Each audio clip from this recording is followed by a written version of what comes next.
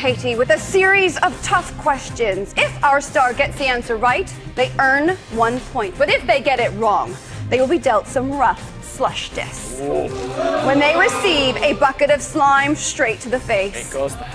Katie, it's time to take the stand. Your 90 second interrogation starts now.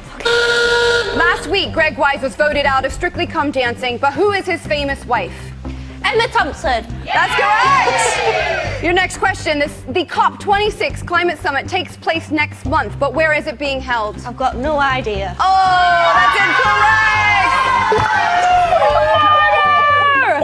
All right, your next question. Adele is due to release an album next month, but how many years has it been since her last? Uh, three. Three is incorrect, I'm afraid. It's six years.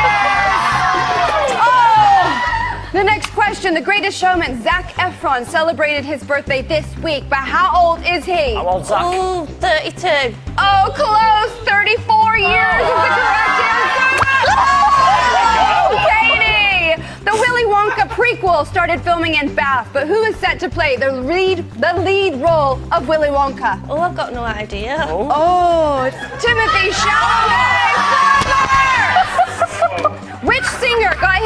Song to number one in the UK last week? 16 years since he had last number one. What? Sorry,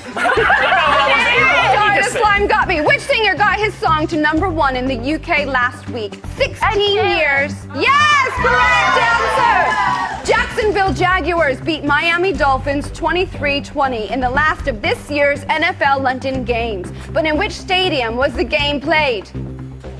London. I don't know. Oh, that's incorrect. Was lots of words there and lots of slime. Katie Magoo, how say you? You're right. Yeah, I'm a bit slimy. Well, hey, to make yourself feel better, you actually got two questions right, meaning two points. But you're not off the hook. More questions.